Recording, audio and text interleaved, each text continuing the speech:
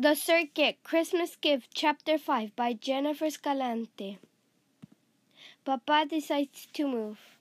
Papa moves because there is no more work for them in the labor camp. My evidence is a few days before Christmas, Papa decides to move from the cotton labor camp in Corcoran and look for work elsewhere.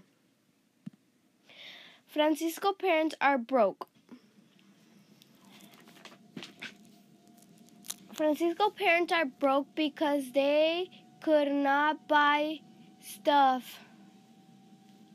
My evidence is that shaking my head, Papa replied, I'm sorry, I wish I could, buy paisano, but we're broke too. Papa gave Mama the white handkerchief that Mama wanted.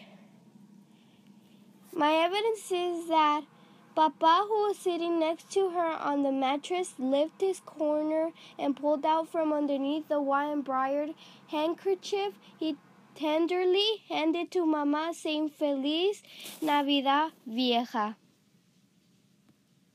Thank you for watching.